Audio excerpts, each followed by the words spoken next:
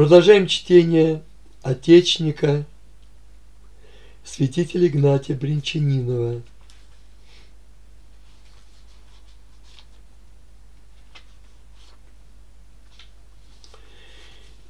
Изречение святого Антония Великого. 120 пункт. Если желаешь благоугодить Богу, почти Христа. Он освободит и защитит тебя. 121. О добром деле, которое желаешь сделать, отнюдь не говори. Исполни его, не разгласив о нем предварительно. 122. Не люби похотений, любящего похотения свои, когда он просит чего у Бога, Бог не слушает. 123.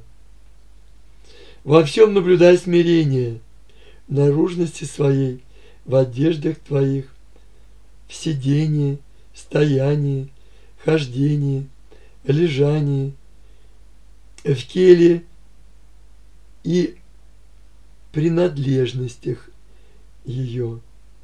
Во всем жительстве твоем усвой себе обычаи нищеты, не тщеславься, ни в речах твоих, ни в словословии и песнопениях, приносимых Богу, когда случится тебе быть с ближним твоим. Слова твои да не будут растворены хитростью, коварством и обманом. 124. Не обвини и не укори кого-либо необдуманно и поспешно. В этом падение твое. 125. Предваряй действия твои воспоминанием и шествия твоего из тела, и не забывай памятствование о вечном осуждении. Поступая так, не согрешишь вовеки. 126. Пустыня – удобное место для размышления о смерти, убежище от причин, возбуждающих плотские вожделения. 127. Употребляй простейшую пищу. 128.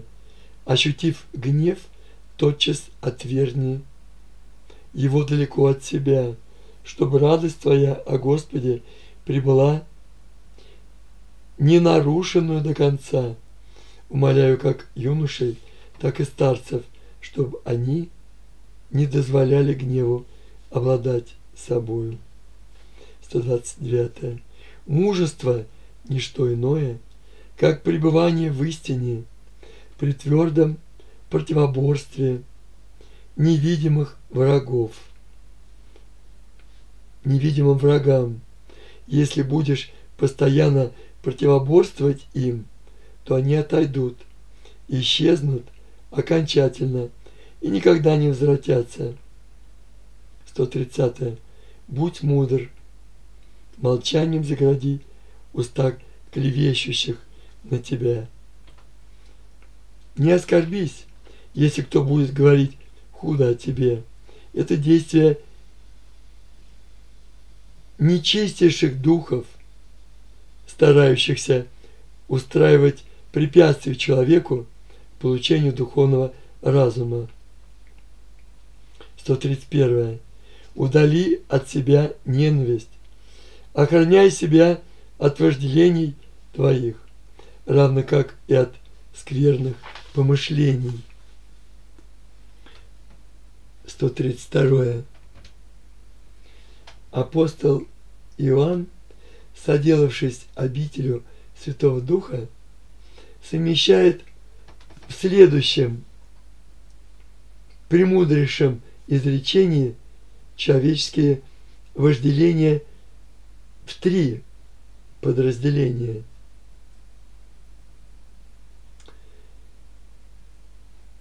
Все, еже в мире похоть, плотская и похоть очес, и гордость житейская.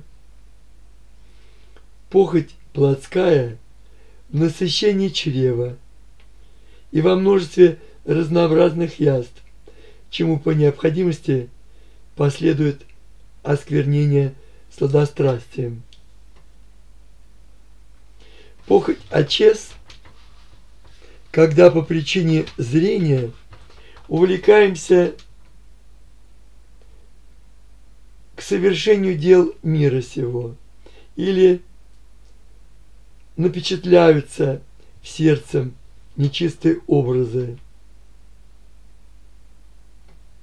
Гордость житейская – это тщеславие, которым наветуется наш дух и влечется гибнущим и суетным попечением.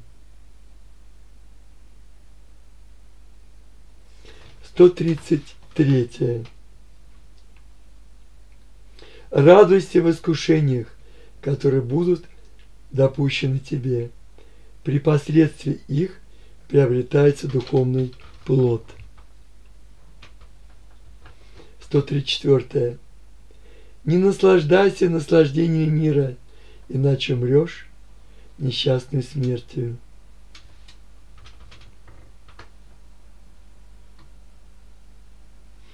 135. Непрестанно бодрствуй над собою, чтоб не быть обольщенным и сведенным в заблуждение, чтоб тебе не впасть в леность и нерадение, чтоб не быть отверженным в будущем веке, горе ленивым. Приблизится конец их, и некому помочь им нет им надежды спасения. 136. Ежедневно умирай, чтобы жить вечно, потому что боящийся Бога жив будет вовеки. 137. Не забывай трудов, понесенных тобою ради добродетели. Не впади в леность, чтоб не оказаться в последний час – твой нерадивым и заблудшим с пути правого. Но возлюби Господа до конца, чтоб наследовать милосердие. 138. Каждую ночь омывай ложе твои слезами, обливай слезами рогозину, на которой спишь, смиряй себя перед Господом Иисусом Христом, чтобы Он простил тебе грехи твои, обновил тебя, даровал тебе силу к совершению добродетелей и, наконец, предоставил в наследство тебе бесконечное царство свое. 139. Если брать если брат придет к тебе и откроет тебе свои помышления, то остерегись. Не перескажи о них кому-либо. Но помолись за брата и за себя, чтобы вы оба освободились от влияния греховного. 140. -е. Предстой всегда в присутствии Бога в истине и правде. 141. Если отлучишься куда-либо из монастыря твоего, старайся скорее возвратиться в него, чтоб продолжительное отсутствие не ослабило твоего молитвенного настроения. 142. Жительствующие в пустыне успокоиваются от троя, трояких борений, а именно от тех, которые посреди мира стужают сердцу при посредстве ссор и тяжб, при посредстве слуха и при посредстве зрения. 143. Инок, желающий спастись, да не входит в свой мирской дом, да не живет в том городе, в котором согрешил. Да не дозволяет он себе свиданий с родителями и прочими ближайшими родственниками, потому что от этого зарождается повреждение в душе и утрачивается плод жизни.